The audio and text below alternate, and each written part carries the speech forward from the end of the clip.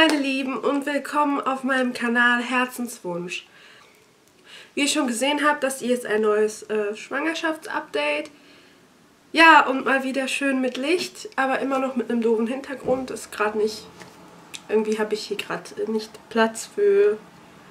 Ja, ich weiß nicht. Mich stört das selber, dass ich immer vor so einer blöden weißen Wand filme, aber ja, ich hoffe, euch stört das jetzt erstmal nicht. Ich hoffe, auch für euch sind die Infos ähm, wichtiger, letztes Mal habe ich ja über die siebte, über die sechste und siebte so rum berichtet. Ich habe mir jetzt keinen Zettel gemacht. Ich hoffe, es wird nicht zu querbeet und so. Und ja, ich hoffe, ihr könnt das gut verfolgen.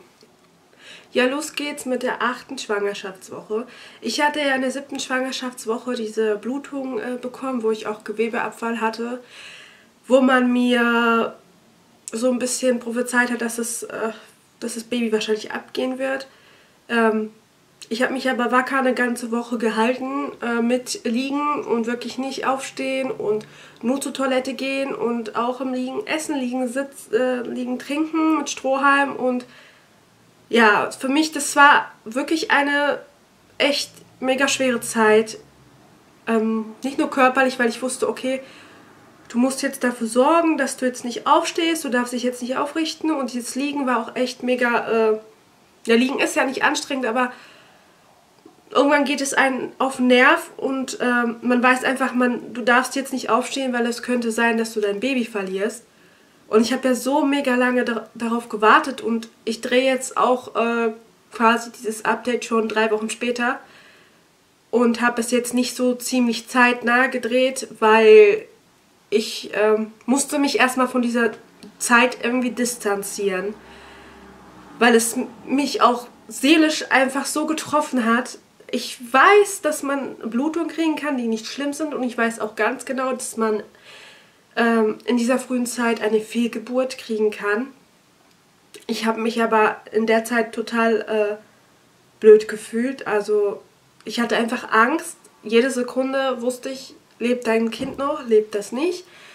Wird sich äh, das Kleine halten oder wird es nicht halten? Und äh, ich meine, ich habe ja so lange darauf gewartet. Ich weiß, es gibt Leute, die warten noch viel, viel, viel länger, aber wenn man einen ausgeprägten Kinderwunsch hat und es passiert dann einfach so. Ich meine, für mich war das so überraschend und dass es jetzt einfach so geklappt hat und ja, ich lag da und wusste nicht, geht das jetzt gut aus? Geht das schlecht aus. Ich hatte ja von dem Arzt so eine schlechte Prognose gekriegt, dass es wahrscheinlich noch abgehen wird nach, dieser, nach diesem Gewebeverlust, nach dem vielen Blut.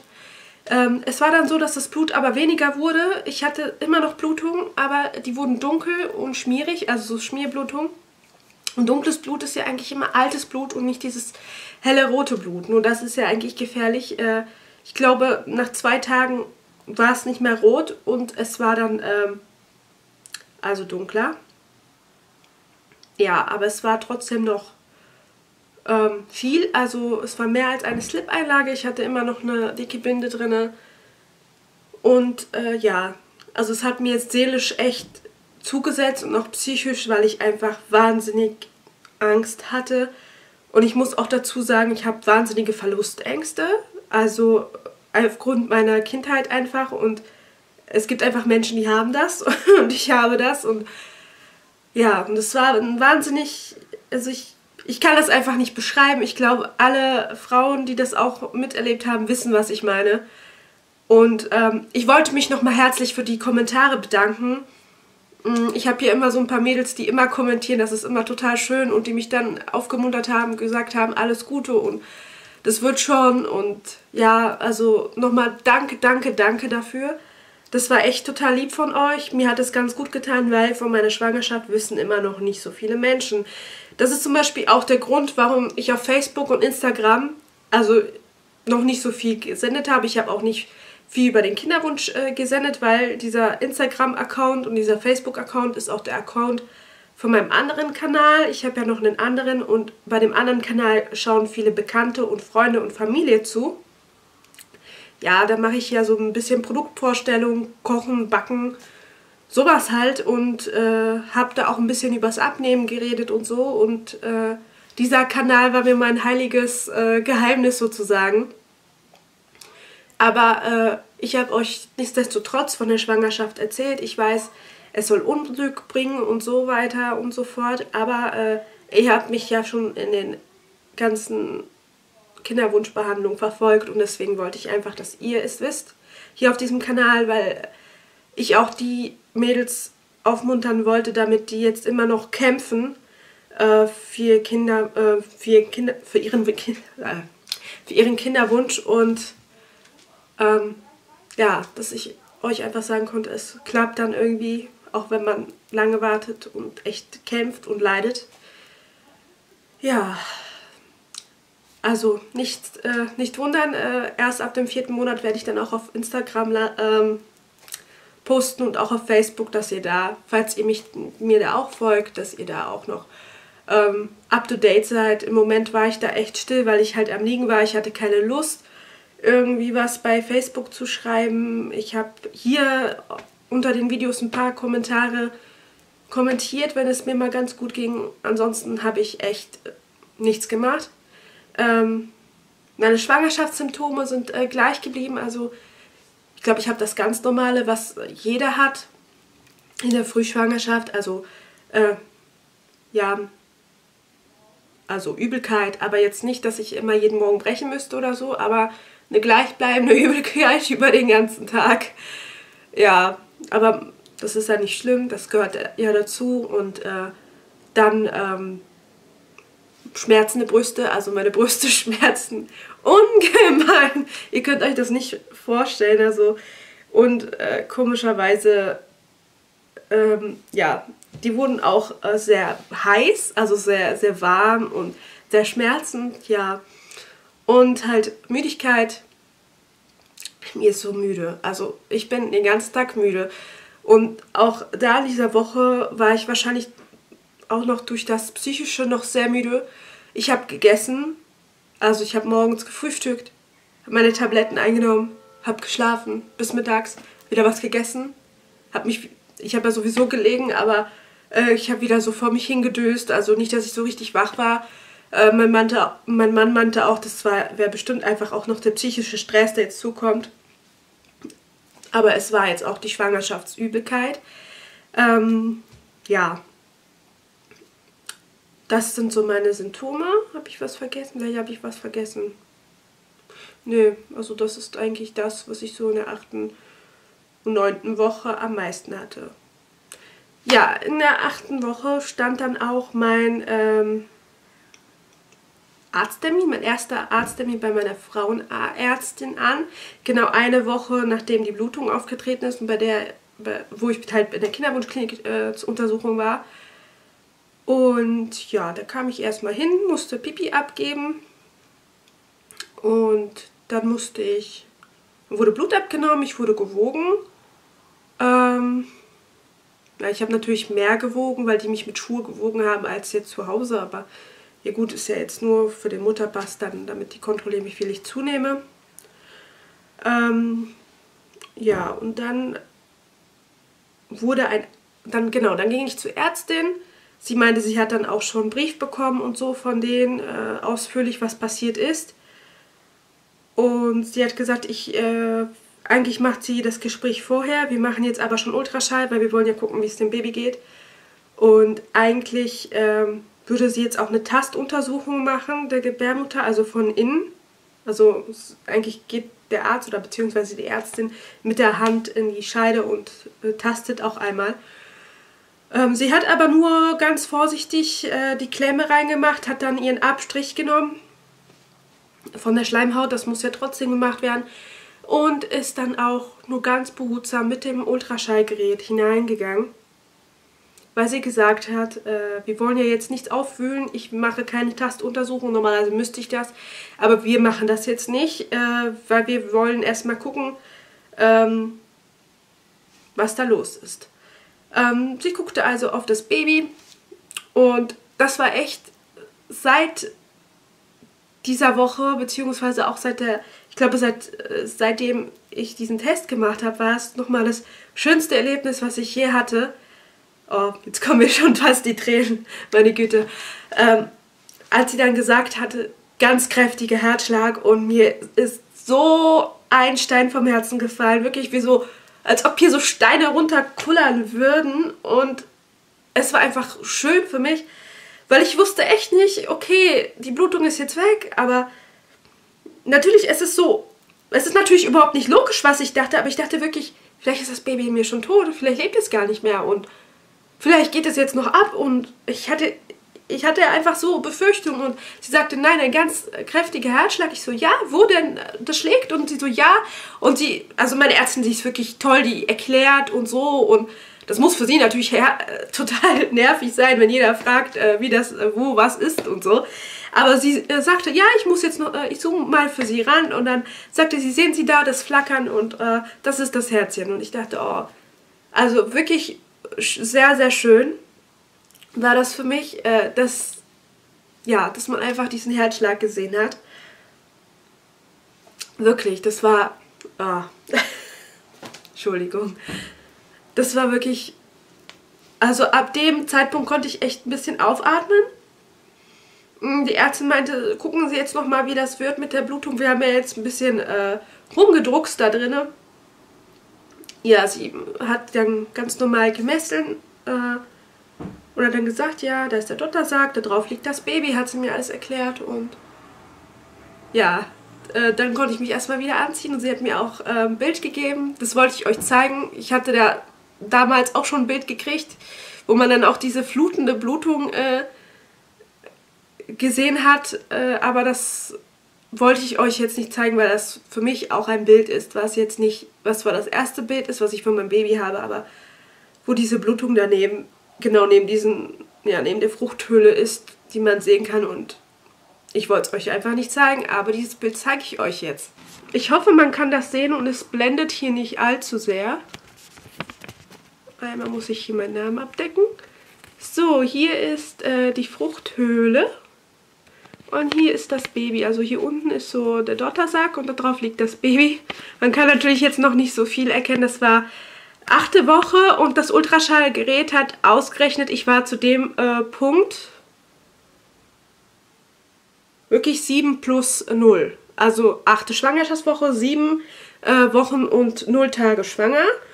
Und das Baby war äh, 0,93 Zentimeter groß. Also fast ein Zentimeter. Fast so. Ist das nicht süß? Ja, ähm, der Geburtstermin steht hier auch drauf, der errechnet wurde anhand des Ultraschalls. Das ist der 16.03.2017. Ähm, ja, also das war das erste schöne Bild, was ich von meinem Baby habe.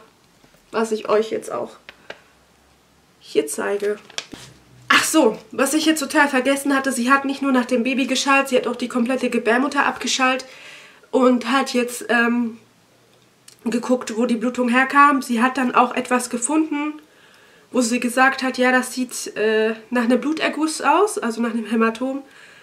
Ähm, ich bin mir jetzt aber nicht sicher, ob es nicht die Rückseite ist äh, von der Fruchtblase vom Baby.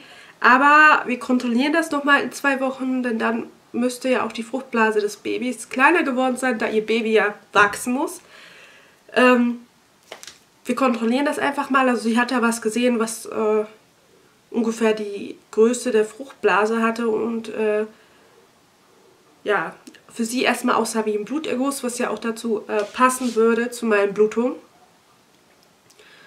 Ähm, ja, dann durfte ich mich halt wieder anziehen, dann wurde ich äh, dann habe ich mich da auf den ganz normalen äh, Stuhl gesetzt und dann hat sie noch mit mir diese ganze Beratung gemacht, dass sie ja mit dem äh, Essen, dann habe ich noch so ein Heft gekriegt, so ein Schwangerschaftsratgeber, was man alles essen kann, was man nicht essen sollte und, und, und, und. Dann hat sie mich darüber aufgeklärt, dass ich mir so früh wie möglich eine Hebamme suchen wollte, sollte. Ihr werdet jetzt denken, was, in der achten Woche?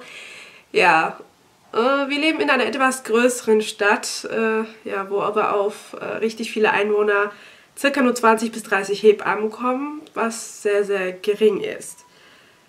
Ähm, deswegen meinte sie, es ist äh, sinnvoll, äh, sich eine Hebamme zu suchen, wenn man auch schon in der Schwangerschaft zur Vorsorge eine Hebamme haben möchte.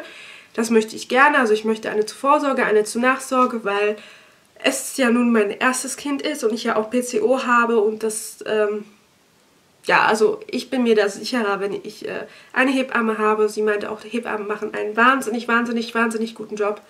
Und es ist einfach sinnvoll, eine zu haben. Ähm, das jetzt schon das zweite, dritte, vierte Kind ist, vielleicht dann nicht. Aber äh, ja, besonders beim ersten weiß man halt vieles noch nicht. Ist ja auch bei mir der Fall. Ja, und ähm, genau, dann wurde ich halt noch so über verschiedene Dinge aufgeklärt und habe mit ihr gesprochen. Sie hat mich nochmal zwei Wochen krank geschrieben bis zum nächsten Termin. Denn ich sollte zum, in zwei Wochen nochmal einfach nur zum Ultraschall kommen, nicht zu einer richtigen Nachsorge. Ähm, einfach um zu gucken, äh, wie der Bluterguss ist und wie es dem Baby geht, weil das wollte sie doch nochmal äh, überwachen, weil das ja jetzt doch noch ziemlich heikel war, also weil ich immer noch geblutet habe. Nach diesem Tag habe ich dann auch nochmal mehr geblutet, also es ist das eingetroffen, was sie prophezeit hat, aber es war jetzt kein, ähm, kein frisches Blut zum Glück. Ich habe dann auch am nächsten Tag, äh, das war dann ein Freitag, gleich in der Hebammenzentrale angerufen und äh, mich da angemeldet, dass die quasi mir eine Hebamme zuteilen. Bis jetzt hat aber noch keiner angerufen. Also die meinten, innerhalb von einer Woche ruft jemand an, da muss ich mich nochmal drum kümmern, nach, nachtelefonieren. Aber ich meine, es ist ja Sommer, ist ja auch Urlaubszeit. Und sowieso sind hier gerade Ferien noch. Ähm, ja, also soweit so gut. Um eine Hebamme habe ich mich gekümmert. In der achten Woche schon. Ja, ähm, in der neunten Woche ist eigentlich gar nicht so viel passiert. Also weiterhin ähm, habe ich dann äh, quasi noch geblutet, aber nicht viel. Es ist dann, äh, ja, es ist äh, auf anderthalb normale Slip-Einlagen sozusagen geschrumpft von mehr als zwei Slip-Anlagen. Und ähm, ja, ich durfte dann auch äh, mich auch schon mal aufsetzen, also ich musste dann nicht mehr komplett liegen. Ähm, da es ja kein frisches Blut mehr war, aber sobald jetzt frisches Blut gekommen wäre, hätte ich wieder in die Liegeposition gehen müssen. Also das war für mich ein bisschen erleichternder als diese allererste Woche, weil ich wusste, okay, dem Baby geht's gut. Ähm, klar, ich war noch nicht außer Gefahr, aber es ging mir erstmal besser. Und ähm, das war für mich erstmal einfach erleichternd, weil mir das einfach so psychisch, ähm, psychisch an den Hals ging. Ja, die Müdigkeit blieb aber immer noch. Also wenn ich morgens aufgestanden bin, was gegessen habe, habe ich gleich gesagt zu meinem Mann, du, ich lege mich wieder hin. Und habe dann wieder zweieinhalb Stunden geschlafen, obwohl ich nachts auch jetzt so lange schlafe, bestimmt acht, neun Stunden, obwohl ich früher locker mal nur sechs Stunden geschlafen habe oder sieben Stunden war immer meine perfekte Zeit. Ich war noch nie so der Langschläfer, aber jetzt, also Schlafen ist, glaube ich, jetzt irgendwie mein Hobby oder so. Ich habe aber gehört, dass es schon, also nach den ersten drei Monaten besser wird. Ja, so viel dazu. Also ich bin echt müde. Müde, müde, müde. Ähm, ich sehe auch wie ein Zombie. Also gut, jetzt gerade bin ich geschminkt. Ähm, Im letzten Update habt ihr es gesehen, wie ich nur mit getönter Tagescreme aussehe. Ähm, ja.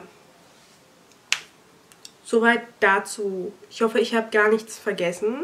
Das war die achte und die neunte Woche. Wie gesagt, mir geht es etwas besser. Ja, viele von euch haben in den Kommentaren gefragt, äh, wie ich das mit dem Abnehmen gemacht habe, weil ich ja jetzt insgesamt 17 Kilo abgenommen habe. Ähm, ich werde dazu ein gesondertes Video machen, was ich jetzt gleich im Anschluss drehen werde, sobald mein Akku jetzt gleich nicht äh, meint, er müsste leer werden. Und ja, falls ihr irgendwas noch wissen wollt, möchtet oder so,